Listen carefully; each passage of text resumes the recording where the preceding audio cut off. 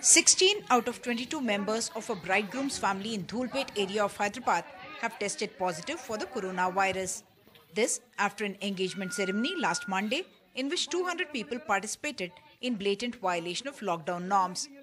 The groom's father died reportedly of cardiac arrest on Saturday.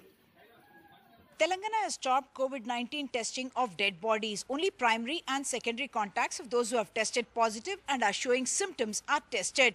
Critics point out that the Telangana's testing is way too low. Telangana had done less than 23,000 tests till the first two weeks of May, whereas Andhra Pradesh, for instance, tested 10 times that number. Tamil Nadu has conducted maximum tests in the country. On an average, Telangana finds one positive case after conducting 16 tests. Maharashtra conducts 9 tests to detect one positive case.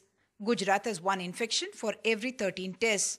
Tamil Nadu finds a positive case among every 30 people tested, whereas Andhra Pradesh finds one positive case among 94 samples tested, and Kerala conducts 74 positive tests for one positive case. Telangana says their contact tracing is good, so there is more precision in selecting high risk contacts.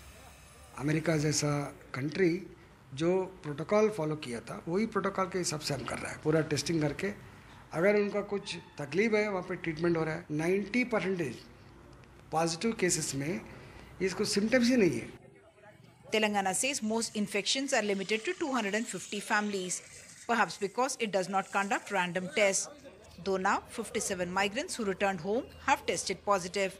In Hyderabad with camera person Nagaraju, Uma Sudhir, NDTV.